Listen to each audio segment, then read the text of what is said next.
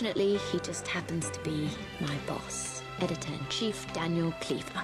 And for various slightly unfair reasons relating to this year's Christmas party, I suspect he does not fantasize about me. Can't live, living is without you. I can't live.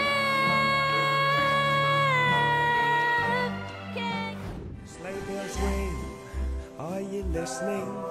In the lane, snow is glistening, a beautiful sight. We're happy tonight, walking in a winter wonderland.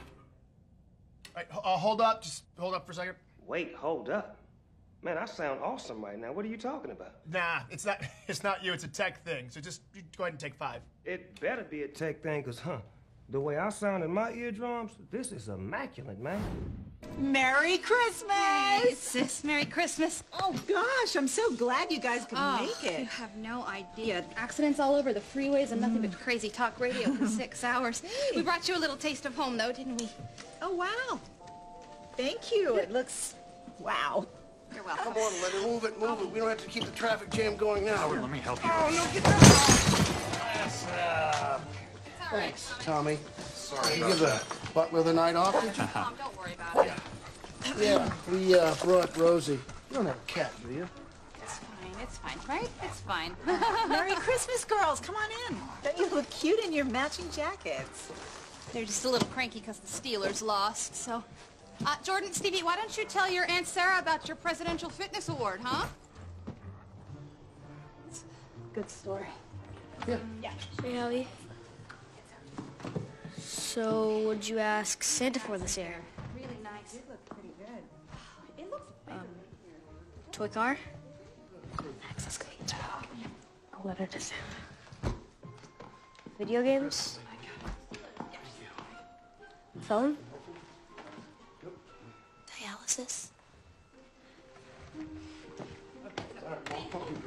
Thank you, guys.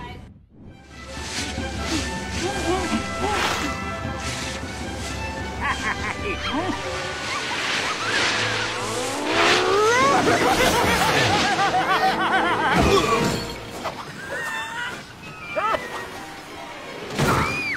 you alright? Are you kidding? The sun is bright and the powder's. Yes, good over. It's my turn to drive.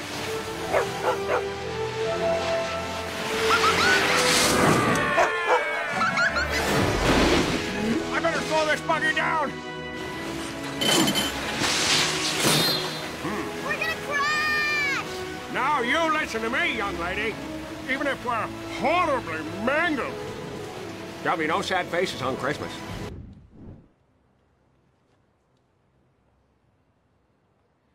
It's carol singers. Give him a quid and tell him to bugger off.